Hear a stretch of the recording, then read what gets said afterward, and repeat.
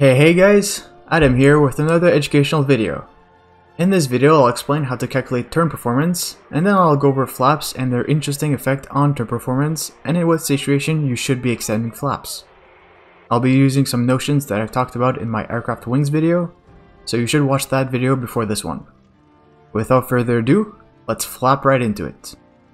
Turn performance can be separated into two categories, turn radius and turn time. Let's start with a mathematical demonstration for turn radius. Bear with me, it's simple enough that a toddler could do it.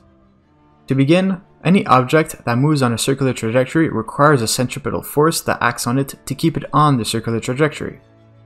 For example, the sun's gravity keeps the planets on their orbit, and tire friction pushes back on a turning car. To turn, the aircraft must first roll to the desired bank angle, and then increase angle of attack to increase lift, and the horizontal component of lift is the centripetal force, and that's what makes the aircraft turn. For now, we'll assume that the bank angle is essentially 90 degrees, so lift is equal to centripetal force. Lift is equal to 1 half times air density times speed squared times wing area times lift coefficient. Lift coefficient is just how much lift a wing can produce per unit of area. Centripetal force is mass times speed squared divided by the radius of the circle. Since they are equal, let's put the two equations together. Speed is on both sides of the equation so they cancel out. If we isolate turn radius, we find that the radius is equal to 2 times mass divided by the product of wing area, air density, and lift coefficient. To find the minimum turn radius, we'll use the CLmax of the aircraft which we can find in the flight model data files. The speed of the aircraft is nowhere to be found in the turn radius equation, this means that the turn radius is independent of speed. One decently sized caveat is that it assumes the pilot and the plane can achieve the required G-load or elevator deflection at high speed.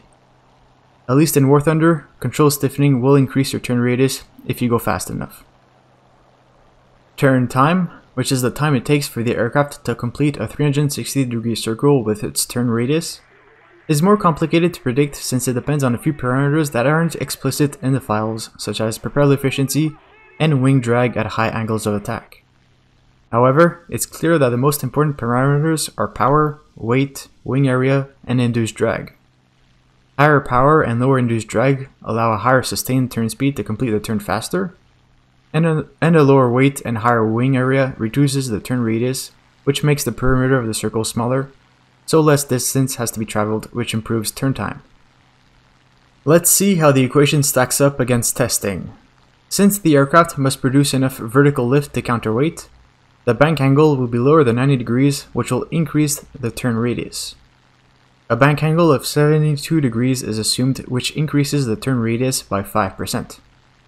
For the P-51D30, the turn radius calculated with the equation is 247 meters, compared to around 256 meters that you see on the WTRTI overlay. The main reason why the theoretical radius is lower than the test radius is because the elevator is producing downforce to pitch the plane to turn, reducing the overall lift and increasing the turn radius to the value you see in the test. As for sustained turn time, it's 17.3 seconds as shown on the overlay. Now let's analyze the effect of flaps on turn performance. Theoretically, Flaps increase the CLmax by increasing the camber of the wing, which deflects more air downwards, but they also increase drag. Do flaps really improve turn performance? Let's find out. I'll start by using combat flaps and I'll let the speed stabilize again to compare turn radius and turn time.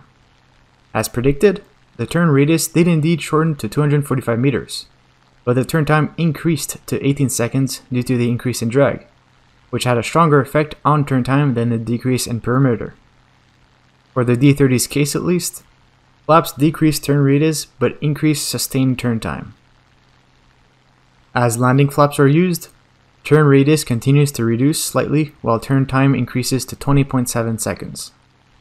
The turn radius got tighter by 4% for combat flaps and 10% for landing flaps, while turn time increased by 4% for combat and 20% for landing flaps, a hefty price to pay for a tighter turn. Let's test another plane, the P-38L Lightning, which has better flaps.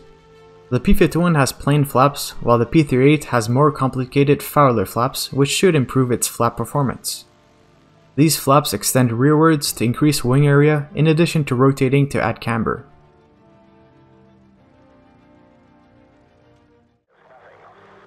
Again, we do the same sustained turn test with no flaps and record the turn radius and turn time, which are 298 meters and 18.8 seconds respectively. Notice that the turn radius is larger than the P-51s when both aren't using flaps. With combat flaps, the P-38's turn radius shortens to 247 meters, while the turn time reduces to 18.1 seconds. A P-38 with combat flaps has a similar turn radius and turn time as a P-51 with combat flaps. With landing flaps, the P-38 turns much tighter than the P-51, even with landing flaps, which shows the P-38's great flaps. It goes from being significantly outturned by the P-51 when clean to significantly outturning the P-51 when landing flaps are used. The conclusion is that flap performance differ greatly from aircraft to aircraft, so you need to know your flaps. The turn radius equation says that the turn radius is proportional to air density, which reduces as altitude increases. This reduction in density affects all aircraft equally, so practically two aircraft which have the same turn radius at sea level will also be equal at 5 kilometers. However, the aircraft that conserves engine power better at higher altitude will have a better turn time and will clearly outturn an aircraft that does poorly at high alt, such as a P-38 against a Tempest.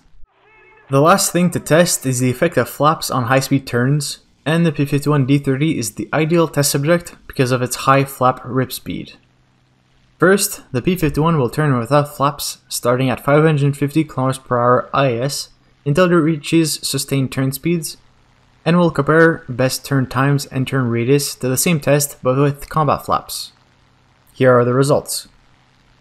This is a graph of the speed as a function of time for the, for the clean P51 and the combat flap P51. As predicted, the flap P51 loses speed significantly faster than the clean P51 and has a tighter turn radius. This is a graph of the turn time as a function of time for the clean P51 and the combat flap P51. The P51 with flaps has the initial advantage in turn time, but the clean P51 catches up shortly and gets a better turn time as speed is bled off. So, we just learned that using flaps doesn't necessarily improve turn performance. Using flaps in the wrong situation will bleed your speed and can get you killed, and not using them when you should have can also get you killed. Flaps are useful when you want to simultaneously slow down and turn tighter, for example in scissors. This is an example from my last P38K video. I combined flap use with a throttle drop to make a slow but better turning Bf109 overshoot.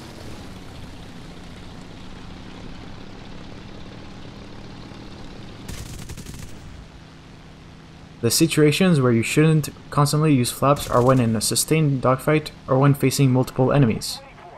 You should pop flaps sparingly and only when necessary, for example to get a shot or to dodge. That concludes the video. Smash like if you learned something. Thanks for watching, subscribe for more, and stay useful.